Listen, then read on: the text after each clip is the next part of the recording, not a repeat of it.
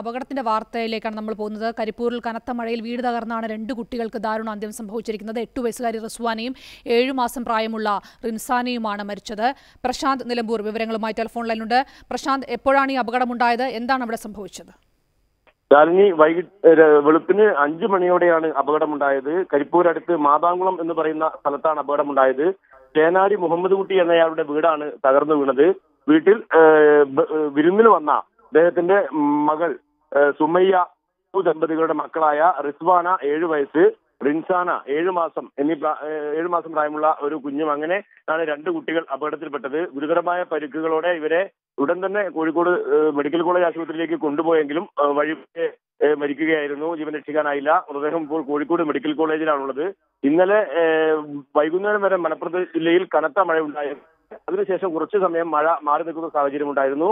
രാത്രി ഒരു പതിനൊന്ന് മണിയോടെ മല മലപ്പുറം ജില്ലയിൽ പരക്കെ മഴയുണ്ട് ശക്തമായ മഴയുണ്ട്. പലയിടത്തും വെള്ളക്കെട്ട് രൂപപ്പെട്ടിട്ടുണ്ട്. ഈ കനത്ത മഴയിലാണ് പുലർച്ചെ അഞ്ചു മണിയോടെ അപകടമുണ്ടായത്. മലപ്പുറം ജില്ലയിൽ ഇപ്പോഴും കനത്ത മഴ തുടരുകയാണ്. ശരി പ്രശാന്ത്.